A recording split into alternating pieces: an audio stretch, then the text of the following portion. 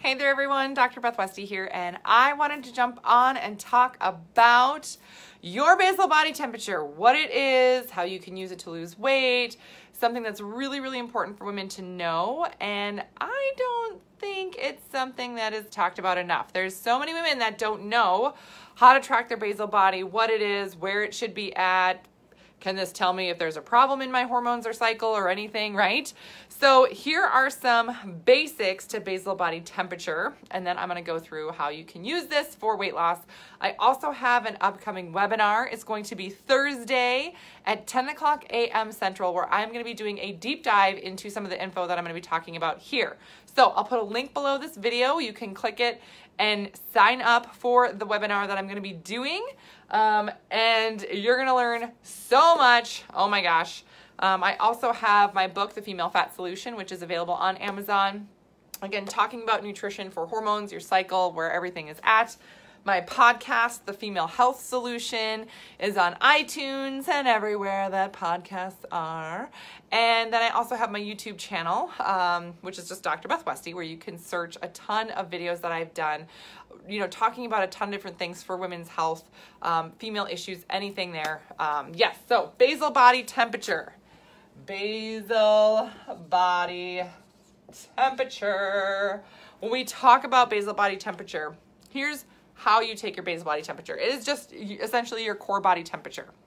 And it changes throughout the month and it can help you track where you're at, especially if you've been under stress or something where your hormones are changing and your cycle's all over the place and you're like, I don't know what's happening with my hormones. Oh, where am I at?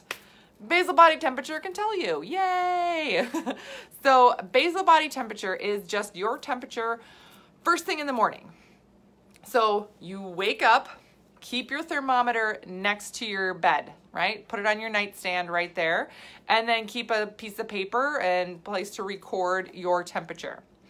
So, or you can, you know, do it in an app. There's apps that do this as well, right?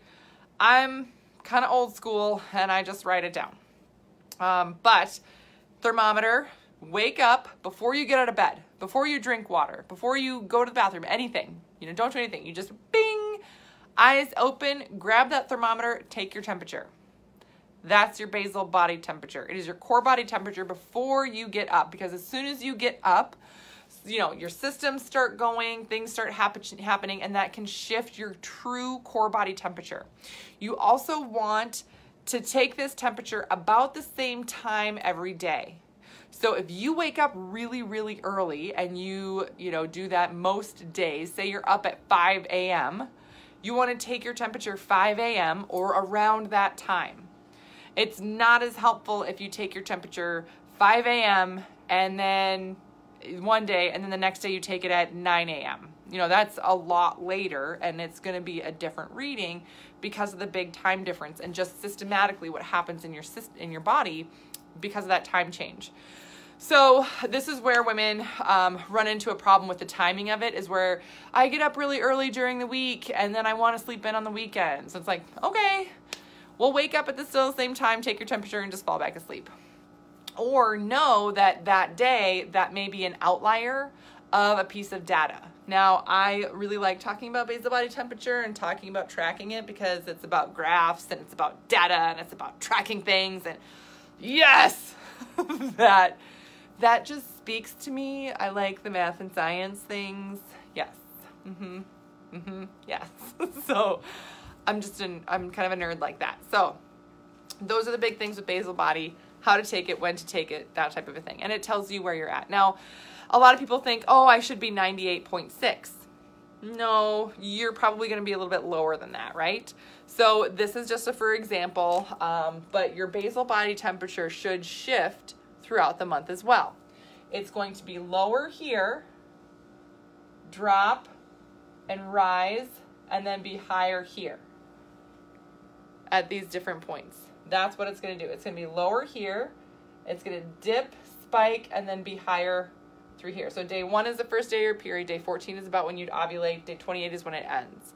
So essentially, when you look at the hormones, this, you know, first two weeks being higher in estrogen, second two weeks being higher in progesterone, estrogen, that basal body temperature is a lot lower. progesterone, that basal body temperature should be higher. And how much? Again, this is just an example, but say you take your basal body temperature and it is 96.5 degrees here. This could be 98 degrees right there. So that could be a degree, a degree and a half, two degrees different for some women. It just depends. But that's a bigger chunk that you're looking at. Now, when you wake up every day, is it going to be 96.5 degrees every single day, days 1 through 14? Not not necessarily, right? It might be 96.4, 96.7, 96.2. You know what I mean? So it might be just above, oh, can you see that? Just above or just below this mark, right? But then it's going to drop, spike within a day or two, right? This is a very short period of time here. And then it'll be higher here, like that. So when you average out these lines, it will show you the difference overall. And then again, but you look at that, look how quickly it spikes and then it's up here. And then when it starts over again for the next month, it will just drop. And that's when you know your period would be starting and your temperature is lower again, and then it starts and it goes all over again like that. That's basal body temperature. So the female body ebbs and flows throughout the month. So for those of you that are wondering, oh, I've had, you know, I'm on birth control, I've had a hysterectomy, I've had, you know, perimenopause, menopause, I'm not sure where I'm at. How do I know? You still have estrogen and progesterone in your system on a different level though.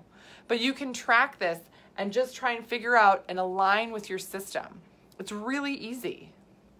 So estrogen, cooling foods, that's to help you lose weight to help your body burn more carbs. Progesterone, warming foods, that's to help you burn more fat naturally. I'm to dive into that in my webinar on Thursday tracking basal body, how this aligns, how to work with this. This is how the female body functions.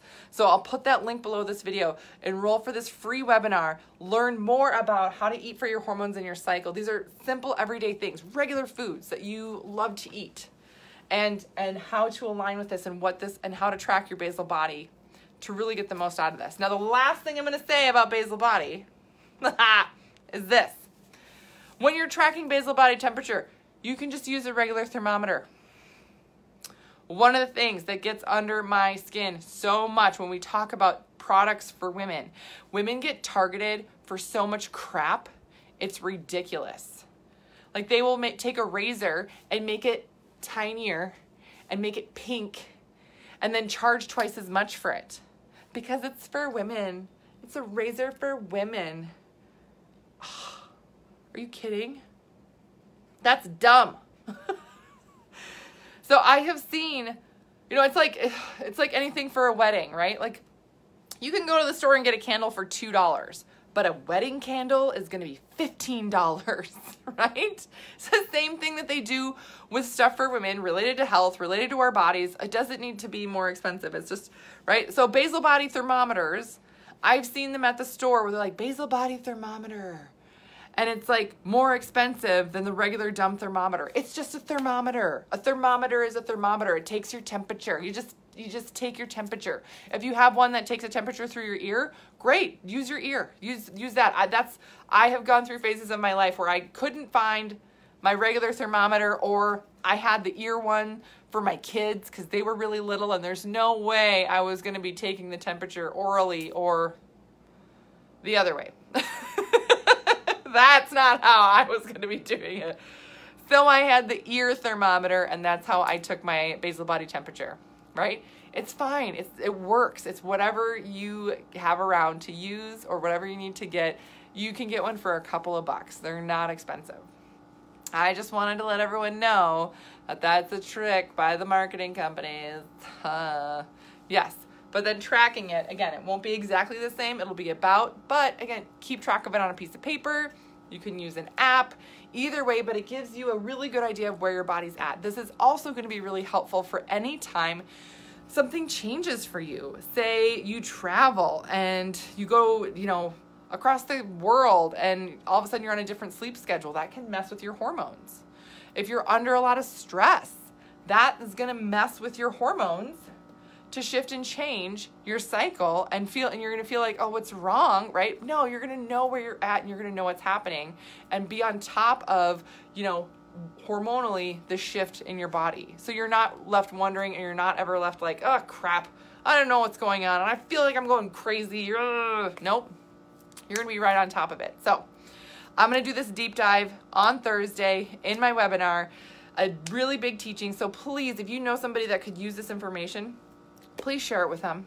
It's my goal and mission just to educate and empower women to give them more information so that you can be in charge of your health, be proactive, and leverage your hormones to your advantage to help you get to and maintain results a heck of a lot easier. So that's what I got for you guys tonight. Thank you so much for tuning in. Share this video and let me know if you have any questions. Otherwise, I'll put that link for the webinar below and I will see you later.